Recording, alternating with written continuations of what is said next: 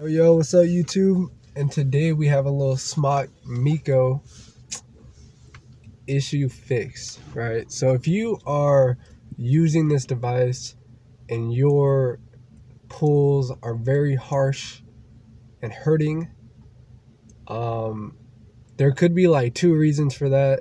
One, you're just a little noob, subscribe. And two, uh, your ohms are off, right? So if, if you get like a 1.5 ohm or a 0.8 ohm, I think it's 0.8, and you're putting 50 milligram salt juice in it, then the 0.8 is way, way, way too much to handle.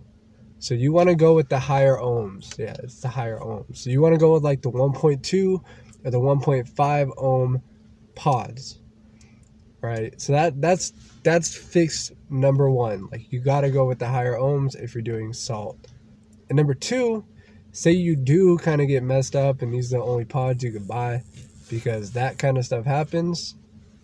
And then what you want to do is take small pulls. So let me just give you one example for the tutorial sense. Here's how you do it.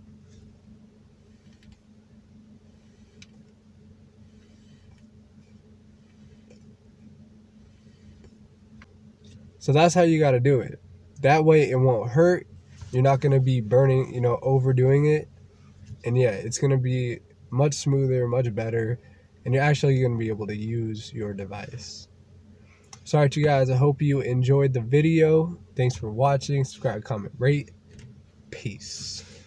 I can never see you in my life.